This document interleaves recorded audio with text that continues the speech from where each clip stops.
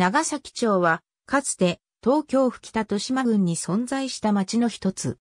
1926年の調整施行によって誕生した。現在の東京都豊島区西部にあたる地域。1889年の市政町村制によって誕生した前身である長崎村についても合わせて記述する。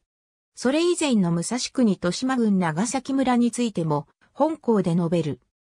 現在の地名では、豊島区要町、千川、千早、長崎、南長崎のほぼ全域及び、西池袋4丁目の西半分と、その他の一部、池袋の一部、目白4丁目の西半分と5丁目のほぼ全域、高松の一部、板橋区南町、幸町のそれぞれ一部に相当する。武蔵野大地の東端部にあたる。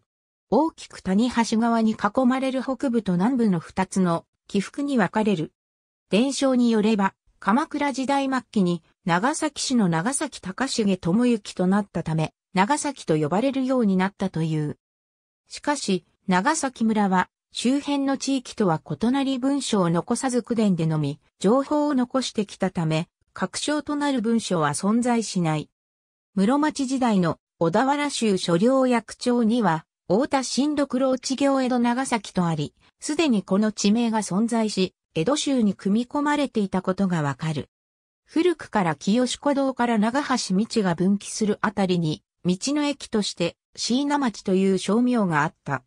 長らく農地であったが、昭和に入ってから徐々に住宅地に変貌した。ありがとうございます。